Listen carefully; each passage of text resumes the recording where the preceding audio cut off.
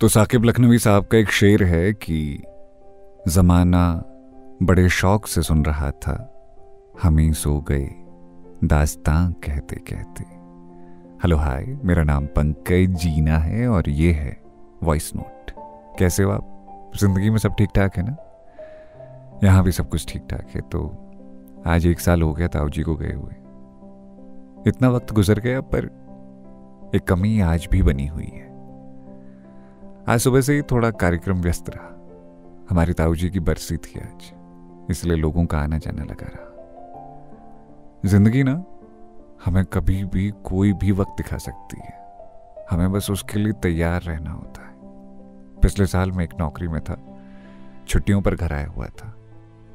पहाड़ों पर घर होने का फ़ायदा ये होता है ना कि आपकी छुट्टियाँ बड़े सुकून से गुजरती हैं। तो हमारे घर के ठीक नीचे घर था ताऊ जी का। बचपन से मज़ाक करते थे वो मुझसे। माँ बताती है कि ताऊ जी बहुत पहले से राजमिस्त्री का काम करते थे और जब वो हमारा घर बना रहे थे तो मैं बहुत छोटा था। मैं अक्सर उनकी पीठ पर बैठ जाता था। वो पत्थरों पर छेनी चलाते हुए मेरे संग खेलते रहते थे। उम्र बढ़ती गई और उनका प्यार भी मेरे लिए उतना ही बढ़ता गया। मैं जब भी छुट्टी आता वो मुझे छेड़ते हुए कहते और रेडियो में क्या क्या बोला है फिर? मैं कहता बस ऐसे ही। आपकी गपशप? अरे, हमने तो नहीं सुना कभी। जरा हमारी बातें बताओ उनको तो हम माने। ऐसा बोलते हुए ताऊ जी पीढ़ी का एक कश उड़ाते और दांत दिखा देते। उनके दो तीन दांत ही बचे थे, लेकिन मुस्कुराते हुए बड़े प्यारे लगते थे। पूरे गाँव में ना उनका हर किसी से एक कनेक्शन था। जो मिलता उनसे, उससे मज़ाक कर लेते। बच्चों के साथ बच्चे, बूढ़ों के साथ बूढ़े बन जाते। मुझे कहते थे, यार, कभी पार्टी करा दे हमारी? बड़ा फर्जी आदमी है तो नोट छापे जा रहा है, कभी अपने ताऊ पर भी ध्यान देती है अगर मैं कहता, अरे यार, ताऊ जी तुम भी।